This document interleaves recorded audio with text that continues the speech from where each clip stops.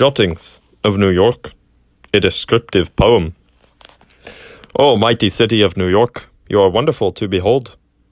Your buildings are magnificent, the truth be it told. They were the only thing that seemed to arrest my eye, because many of them are thirteen stories high.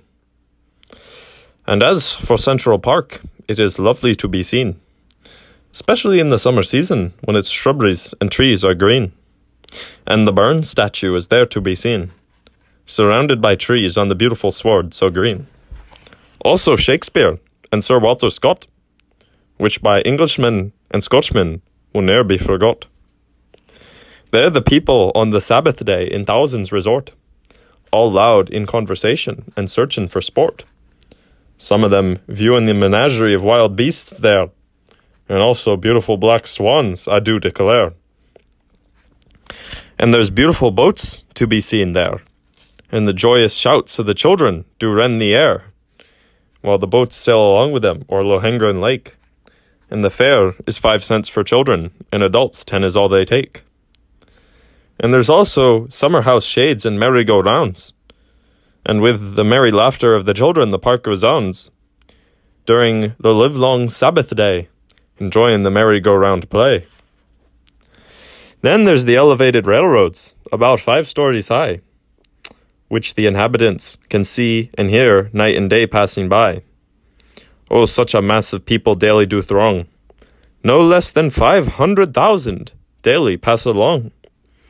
And all along the city you can get for five cents. And believe me, among the passengers there are few discontent.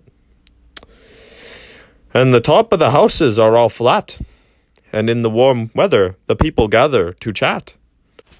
Besides, on the housetops they dry their clothes, and also many people all night on the housetops repose.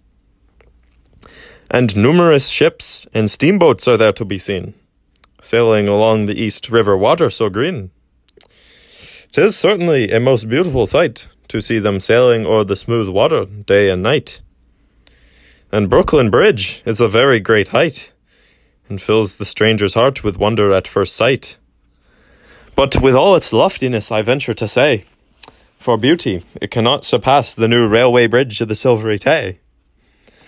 And there's also 10,000 rum cellars there. Oh, wonderful to think, I do declare. To accommodate the people of that city therein, and to encourage them to commit all sorts of sin. And on the Sabbath day ye will see many a man going for beer with a tin can, and seems proud to be seen carrying home the beer to treat his neighbors and family dear. Then at night, numbers of the people dance and sing, making the walls of their houses to ring with their songs and dancing on the Sabbath night, which I witnessed with disgust and fled from the sight. And with regard to New York and the sights I did see, one street in Dundee is more worth to me.